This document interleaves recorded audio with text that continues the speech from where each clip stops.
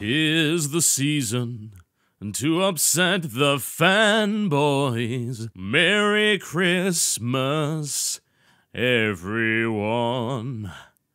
Welcome to my top 10 games of 2013. I qualify it every time, yet the arguments always occur. It's a wonderful thing, actually. It's a great time of year. It's a time of year where people get to claim that you're wrong on the internet, which you'd think would be something very common, something that we're used to on a daily basis, and we are, absolutely. It's part of the job. But when you create a top 10 list, you are especially wrong. Especially wrong. This is particularly true if The Last of Us is missing from the list. Which, as it turns out, it is. As usual, the only, and I do mean the only reason that anything has made this list is simply because I enjoyed it the most.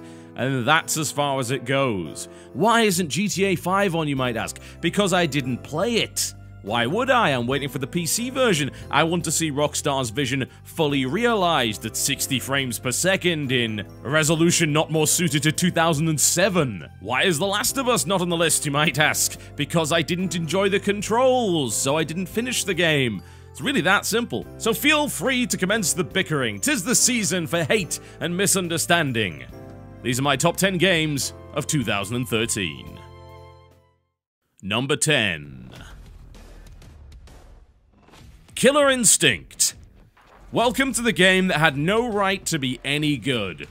Developed by a company called Double Helix. This was the one game that I was looking forward to for about 5 seconds until I found out who was actually developing it and this was the reaction of many people around the world as it was found out that no, it was not Rare that was developing Killer Instinct for its 2013 remake. Oh no, no, no! It was Double Helix, the developer behind such classics as G.I. Joe Rise of the Cobra, Silent Hill Homecoming, Battleship, and Green Lantern Rise of the Manhunters. This was a developer whose crowning glories were Front Mission Evolved, which was considered by many people to be a lesser sequel to the Front Mission series, and MX vs. ATV Reflex. That was it. And they gave one of the most venerated, although admittedly for a rather strange reason, fighting game franchises to these guys. For some reason, Killer Instinct has had a lot of nostalgia and an awful lot of weight put behind it, and no one really seems to know exactly why, especially considering the original game actually wasn't that great. However, Double Helix actually came through, and in a big way as well. Funnily enough, Double Helix actually consists of some of the members from one of my favorite studios, the now defunct Shiny Entertainment, who went out with a whimper after developing the atrocious Golden Compass and the embarrassing Enter the Matrix. This was a nosedive for a company that had developed classics like Earthworm Jim, MDK, Wild 9, and Sacrifice. And along comes Killer Instinct, a budget title, a title that frankly was derided for many reasons, including its business model, by people that didn't understand just how fair that business model was. A $20 fighting game with next-gen graphics, a phenomenal soundtrack, and an amazing combo system that both has supreme depth and is very easy to access for a new player. Add on to that, the best, and I do mean the best, tutorial in any fighting game ever made to date, and you have the best launch title on the Xbox One and a stellar entry right back into the fighting game scene for Killer Instinct, a game that has, of course, long since been defunct.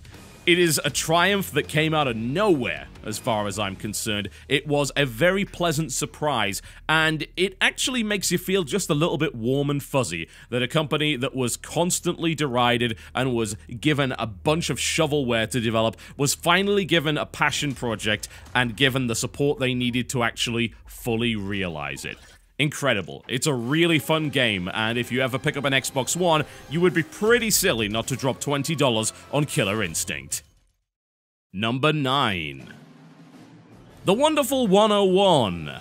Yeah, that's two console games. It happens, folks. I do play games on consoles from time to time, and The Wonderful 101 is a very late entry to my 2013 top 10. It's by one of my favorite developers who are about to enter the PC scene with their port of Metal Gear Rising. However, Wonderful 101 actually beat out Metal Gear Rising in this lineup, and that is for one reason just how absolutely ridiculous and original this title is. This is a game that is absolutely overflowing with imagination. It takes a fairly played out genre that Platinum are admittedly masters in, the action spectacle fighter, and it turns it into this incredibly strange team battle whereby you draw shapes on your gamepad in order to create various weapons out of 100 tiny superheroes that can all morph together in order to create attacks. Not only that, but you can split off groups of the heroes in order to create multiple attacks in different areas of the screen, or just attack head on with a large group of tiny, tiny superheroes. Add to that a fantastic art style, a completely over-the-top soundtrack involving a male chorus singing about how amazing these imaginary tiny superheroes are, and of course Platinum's trademark ridiculous writing, and what you're left with is a surprisingly good Wii U game that really stands out amongst the rather lackluster lineup of that particular platform as a truly original and truly hardcore experience. It is not without its flaws, I will certainly say that. Its tutorial does a fairly poor job of explaining what exactly is going on, and because Platinum are cruel and horrible human beings, they decided to put a timer on elements of that tutorial so you can actually fail it. Not only that, but enemies have a tendency of going off-screen and the camera does not allow you to see incoming shots from time to time, making them very difficult to avoid. It is a game with plenty of quirks. It is a game with uh, plenty of minor issues. However, I would say that its originality and attempt to reinvigorate an otherwise rather samey genre, and indeed succeeding in doing just that, is what makes this game deserve a spot on my list. Number 8. Metro Last Light. One of the most gorgeous technologically advanced games that we got this year found its way to us from Kiev in the Ukraine. Metro Last Light is the sequel to Metro 2033 that at the time was regarded fairly well, especially in terms of its graphical fidelity and the technology on display, but was lacking in terms of its gunplay and overall polish. However, the sequel did not disappoint. While it is fairly linear in many places and certainly is not perhaps the open world game that many were hoping for, it is a phenomenal first person shooter, which is absolutely drowning in atmosphere, demonstrates some of the most advanced graphical technology we've seen in games up to this point, including practically peerless lighting effects, and delivers a very atmospheric and at sometimes scary post-apocalyptic experience. My complaints about the game focus on its overbearing linearity at times, including a rather annoying tendency to hold your hand and force you down a particular corridor, as well as its rather lackluster voice acting. However, if you're looking for an atmospheric experience that tests your PC to its limit, then you can't go wrong with Metro Last Light. Number 7 Path of Exile. This ended up being a little bit of a surprise to me, as did many of the games on this list, which is probably why they got there in the first place. This is a genre that I'm not really a huge fan of, and it takes a rather special game to get me to like it. Last year, Torchlight 2 was able to do that, coming in at number 10. This time around, we have the very Diablo-esque game, Path of Exile, a free-to-play title from a small New Zealand-based indie studio by the name of Grinding Gears. What struck me immediately about that game was the fact that they created a rather modern Diablo-esque aesthetic. For those who didn't like the changes to the aesthetic of Diablo 3, for instance, this game may very well be right up your alley. It uses that darker, pseudo-realistic, gritty look, which works very, very well considering the game is steeped in a moody and miserable atmosphere where it's made abundantly clear that this is not a nice place to be. The island is hostile to you, and indeed all life, and everybody seems to merely be out to survive, and little more than that. Characters serve their own purposes and will happily help you as long as you are helping them, but at the end of the day, they are certainly not your friends. The game itself utilizes fairly familiar mechanics with their own unique spin upon them. The combat system is instantly familiar to anyone that's played a Diablo game, however, the intricate complexity of the massive passive skill system, as well as the idea of skill gems and the ability to link them to support gems which change their effects, gives players a wide variety of viable skills and builds to choose from. Combat in general also feels very satisfying, although I'd imagine that's dependent on which class you play. My duelist with his two-handed bastard sword is able to destroy enemies in a wide variety of different and highly entertaining ways, including copious amounts of lightning, ice, and every now and again, the rather amusing Infernal Blow, which causes enemies to literally explode, damaging those around them. The game's frame rate is also rock solid, dealing with huge numbers of enemy creatures, sometimes 50 to 100 on the screen, without any real drops in frame rate, which seems to work rather well. Admittedly, the game's netcode does occasionally have some issues with desyncing. The hardcore experience is catered for alongside daily competitions which challenge players to a wide variety of different constraints in anywhere between one hour and several days long races in order to earn the most points.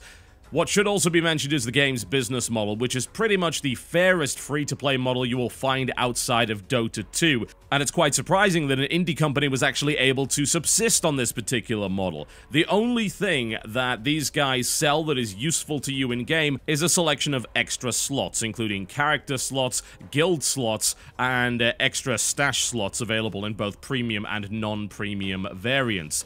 Surprisingly, though, the game is very generous on all of those fronts to begin with, and you do not have to spend a penny, everything else going into cosmetic items such as pets and different skins for abilities as well as equipment. It is an incredibly fair model, and I think as a direct result, they have encouraged an awful lot of people to uh, buy microtransactions where they previously would not have. It's a really great action RPG that I would strongly recommend that you try. The sphere grid style system is certainly rather daunting, to say the least, but I feel that if you deconstruct it and you have a look at it in a sensible way, then you'll be able to figure out exactly what you want to do. A phenomenal free-to-play action RPG coming from a rather unexpected place this year, which takes the spot at number 7. Number 6. Fire Emblem Awakening. The only handheld game that's going to make its way to my list this year, and what a damn good one it is. Every now and again I stumble across an absolutely fantastic handheld game either on the PlayStation Vita or on the 3DS, and Fire Emblem this year is the best example of a hardcore handheld game that is a truly fully featured experience. Fire Emblem Awakening is the latest in a series of tactical RPGs or SRPGs, which of course were developed by Nintendo, going all the way back to the family computer, better known, of course, as the Famicom. It is one of the earliest examples of the genre, and it made its name by featuring permadeath for its characters, something that very much continues into Fire Emblem Awakening. This is a game that is not only willing to tell you stories, but also willing to let you miss out on them if you happen to allow a character to get killed. It has the effect of making you care about certain characters and want to preserve them, perhaps at the expense of their comrades, if at all necessary. It's a very challenging game with a great deal of depth, and a fantastic lineup of characters and huge amounts of playability. It's a genre that I very much enjoy, and one that I initially got into with Shining Force 2 on the Sega Mega Drive, then, of course, into Shining Force 3, a game which I enjoyed an incredible amount, only to have Sega decide to stomp all over my rights as a creator when I dared to show their 20-year-old video game.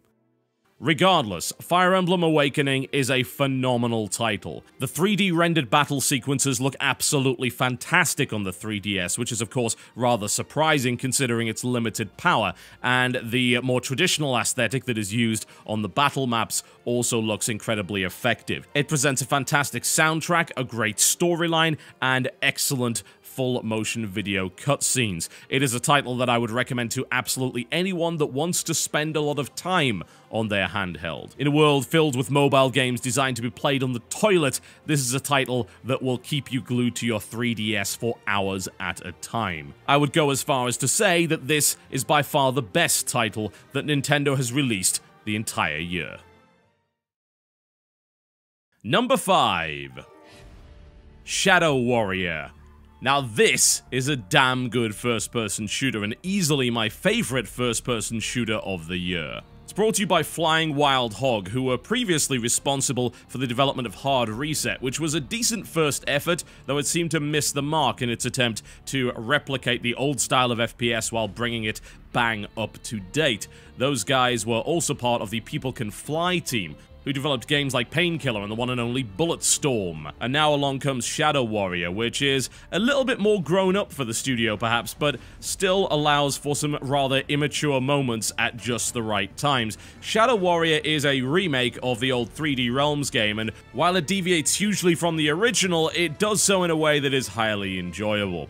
If I was to criticize the game, it would be due to the fact that its level design wasn't quite up to the original title, which featured very 90s style maze-like levels, which I very much appreciate. However, you've got to give this game props for a fantastic and somewhat puerile sense of humor and a phenomenal combat system that is ridiculously enjoyable to play. What surprised me most about the game was its melee component was actually just as strong, arguably even stronger, than the first-person shooting component, which is unexpected considering the game's heritage. The katana has a wide variety of different moves and is really, really fun to use, slicing demon limbs in various different amusing ways, all accompanied by ridiculous one-liners. The wide variety of weapons is also stocked with upgrades, as well as secondary fire modes, and levels are chock full of secrets to discover. It's one of the most enjoyable FPS experiences I've had in the last few years, and it's really nice to see an FPS that was obviously designed with the PC in mind mind that has no desire to hold your hand whatsoever. It's the kind of game that you can get into and just obliterate hordes of enemies in while having an absolute whale of a time. And the developers and publisher have continued to support the game with free DLC as well as additional weapons. It is a really great experience. If anything, the only thing it's lacking is a multiplayer mode. But you know what? Every now and again, it's nice to see a first-person shooter that actually focuses on the single-player experience, because these days, that's rather rare. Number 4. Dota 2. This is hard to argue with. The lineage of this title going all the way back to Aeon of Strife in the original StarCraft has spawned an entire genre of games in and of itself, including perhaps the most popular game in the world right now, League of Legends. However, I would be lying if I said that LoL was a game that I enjoyed more than Dota 2. It actually took me a while to come around to the idea of Dota. As a League of Legends player, I found the notion of things like denies to be unintuitive. I found the idea of not being able to go back to base anytime I wanted to be a waste of time, to be unnecessary clutter in a game that was too stuck in the past to really have any relevance. However, it's nice to be wrong, I have to say that. As I stuck with Dota 2, I saw what those mechanics actually added to the game. A great deal of depth, a higher skill ceiling, more complexity, more required teamwork, and a real emphasis on decisions actually making a difference and really mattering. That's not to say that other games of that genre don't, but I feel that Dota is the original in that respect. And it's done a great job of slowly introducing new players to the game itself without compromising its actual difficulty. And let's be honest, the learning curve on that game is a brick wall. Not just a brick wall, it's a cliff face covered in spikes and angry rock climbing monkeys ready to throw you off at a moment's notice. It is vicious. However, with a training mode and a coaching mode, the game has become a lot better for newer players. It's unfortunately a game that I'm not enjoying currently. I think I need to find a team, because honestly, queuing up on your own and going in with a bunch of random pubbies is not a pleasant experience for the most part. It can become highly frustrating, and the game's lack of surrender button means that you can be locked in with people who just are not all that pleasant for sometimes an hour at a time. If you decide to bail on it, well, welcome to low priority queue, which is even worse. The queue times are also rather lengthy. The game certainly has an awful lot of problems, but I feel a lot of those are inherent to the genre. This is a game that has an absolute ton of potential when it comes to esports and competitive play. The International 3 this year was one of my favorite esports spectacles of the year, which is surprising because I'm usually a StarCraft guy, but I absolutely enjoyed that event and I thought it was really well produced. Valve did an excellent job with it, the teams played some phenomenal games, and to me, Dota 2 is still the best example of this particular genre. Will it be forever? Probably not. Considering how many games are being developed in this genre, sooner rather than later we may find a game that ends up being better. And to some people, that game already exists. It's called League of Legends. They believe that those mechanics and that particular design philosophy is a superior experience, and you can't really discount that because it's a valid opinion. However, personally, the game for me is Dota 2, and in 2014 I'm looking to hopefully get back into it with a few friends and see how far I can go. It's intimidating, don't get me wrong, but I think now is the perfect time to give it a try, and you can find it, of course, for free over on Steam. Number 3. The Stanley Parable. You know, I was tempted to put this at number 8, but I don't think a lot of people would actually get the reference. This is the most enjoyable non-game that I've ever played. I've got to say, it really walks the line between an actual video game and this idea of the virtual art installation, something that games like Gone Home and, to a greater degree, even Dear Esther very much inhabit. Gone Home is not on my list, but I can tell you for a fact that Stanley Parable very much is. It's an incredibly clever game. It pokes fun at everything. It pokes fun at the genre. It pokes fun at video games in general. And it pokes fun at the player for demanding that level of control and expecting there to be real consequences to everything they do. And strangely enough, the game actually provides you with those consequences, but they are perhaps not at all what you were expecting. This is a game almost purely about exploration, about observing your environment and uh, coming across ever more puzzling and perplexing ideas and situations all accompanied by a fantastic narrator along the way, who delivers a fantastic dry performance and the script is funny enough to match it. It's hard to really describe to people that haven't played the game exactly what it is. All I can really say is, well, you're Stanley, or are you? No one is in your office. They all disappeared. Or did they? You gotta go and find out what exactly is going on. Or do you? It's a very unique experience that I would recommend to pretty much everybody. It may very well make you think about video games in a different way. Or it may just make you giggle. All of those are okay, it doesn't really have to achieve anything. In a year where the debate rages about games being art and many developers seem to be attempting to overreach and really say more than their video game is actually really qualified to, this is a game that simultaneously achieves that and yet mocks the very notion of doing so. A game with many endings that's going to mean different things to different people. And that means you should try it and find out exactly what it means to you. Number 2 Hearthstone. This really is the one game that I played the most for the channel. Everybody knows that I'm really into collectible card games, but Hearthstone came along and really Honestly, it swept me off my feet, and that was a little unexpected, but not completely. I feel like I was the only person in the world to be excited when the guys over at Blizzard announced a CCG. Obviously, that isn't the case, but there was a lot of skepticism which was, of course, closely followed by demands to get into the beta. That is a beta test that was surrounded by some of the most hysteria I've ever seen. There was desperation among people, demands to get into the early beta test. The Hearthstone subreddit was insufferable for months with people begging for keys, complaining about botched giveaways, and all manner of nonsense. For a game that so many people turned their nose up at when they initially heard about it, they were sure desperate to get in once they saw it in action.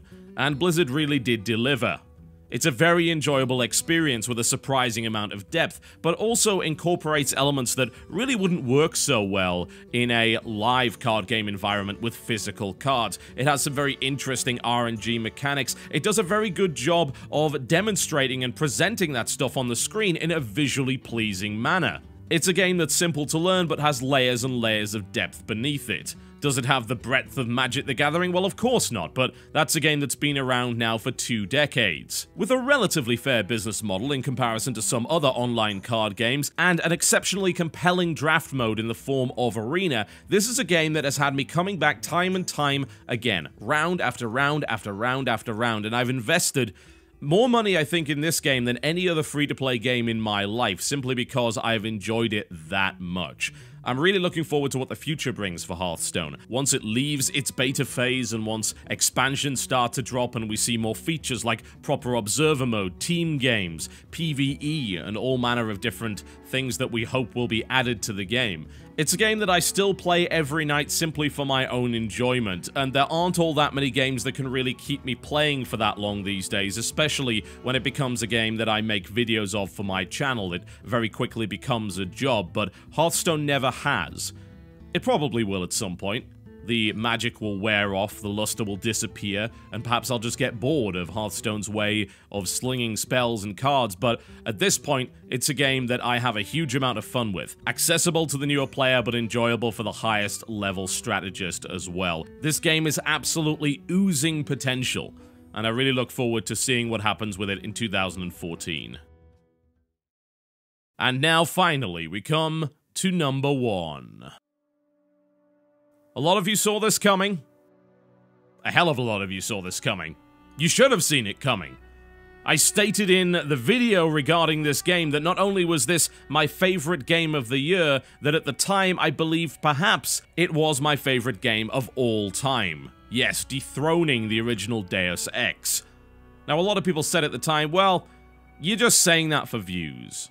You're saying that because it's controversial. You're making a grandiose statement that you don't really believe in. Or perhaps you'll just come to your senses. The impact of the game hadn't quite worn off on you yet, and you'd look at it through jaded eyes a few months down the line. Well, that didn't happen. Brothers A Tale of Two Sons is perhaps the best video game I have ever played. that's a very tall order, isn't it? And so many people have asked me, how can that be possible? This is a two to three hour puzzle game. It really doesn't bear a second playthrough. It doesn't even have voice acting. How can this possibly be your favorite game of all time? Well, I explained it perhaps as well as I could have in the video, immediately concluding my full playthrough of the title. And uh, I still believe those words to this day. This is a game that has connected me with characters on the screen in a way that no other game ever has.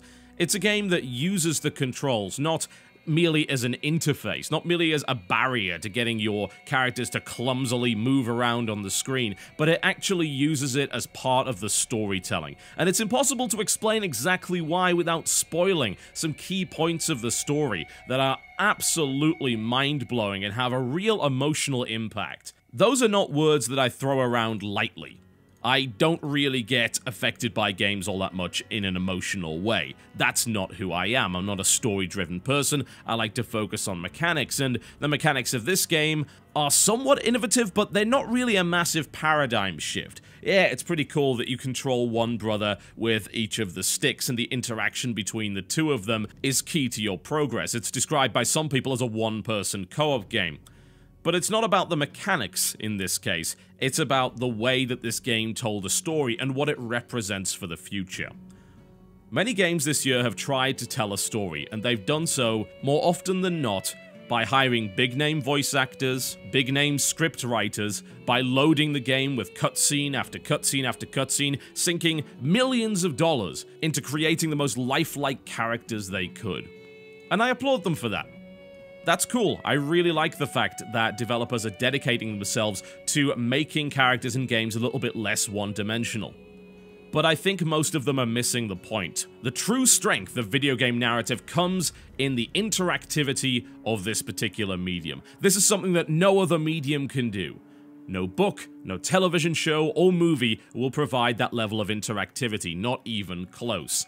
And that is the way that you really convey your narrative, because the player should not be on the outside looking in. The player should feel like they're a true part of this story. Lengthy cutscenes and celebrity voice actors make me feel like I'm watching a movie, not playing a game. That's not my voice that's coming out of these characters. I'm not really controlling these characters. They're going on for perhaps sometimes 10 minutes plus at a time without any input from me as the player whatsoever. I feel disconnected from these characters. And while the animation and the voice acting and the script writing is extremely impressive, a game like Brothers says, you are part of this story. You are these two brothers, and we're going to connect you to them in every way possible, and we're going to allow the story to connect with you directly as a player, and their control method is really what allows them to do that. It helps, of course, that the game isn't entirely laden with cutscenes and that it likes to be interactive wherever possible, keeping its non-interactive elements to a minimum. But inherently, this game is the story of two boys struggling to save their father, and that's a struggle that you really feel a part of. It sounds a little cliche, doesn't it? And you might be thinking, well, don't other games do that as well? The idea of hanging on with your controller to make sure that you do not fall down a sheer cliff face or let go of your brother. This is the kind of thing that other games do. Yes, you're right, but none of them does it this well, and there's one particular moment that accents absolutely everything that I'm saying, and anyone that's played this game knows exactly which moment I'm talking about. The controls are not merely there as a means to an end. They are there to connect you with the characters on the screen, the story, and the journey. The writer of this game, as well as the developer Starbreeze, seem to understand that games can be something more than merely running cutscenes. They can be something more than CG television shows with occasional interactivity. They can be more than that, and they can really play to the strengths of the technology and the medium that we have at our disposal. Brothers to me is the single biggest example of just that. If you break it down and if you decide to be cynical, as much as I tend to be, then you can look at it and say, well, this is merely nothing more than a third-person puzzle platformer with some fairly simple puzzles involving controlling two characters at once, and while that's a rather nice gimmick, that doesn't make it a game of the year. And you'd be right, if that's what you wanted to deconstruct it to, but I really feel that Brothers is far more than the sum of its parts, and what Brothers represents, and what Brothers made me feel in the two and a half hours it took me to actually beat that game gives me a great deal of hope for the potential of video games going into 2014 and beyond, in a murky year of questionable business decisions. This is a simple game trying to tell a simple story in the best way it knows how to do. And in my humble opinion, it succeeded absolutely in doing just that. Brothers, A Tale of Two Sons, ladies and gentlemen, is my game of the year for 2013. It's been a pretty good year for the channel, folks. This time last year, we were hovering just short of 900,000 subscribers, and at this time this year, we're about to break 1.5 million. I'd like to thank each and every one of you for your support throughout 2013, and I hope to see you again next year. You seem to like it here, so I'm going to continue doing what I do best and hope that's good enough for you. Please have a safe and very happy Christmas, and I'll see you next time.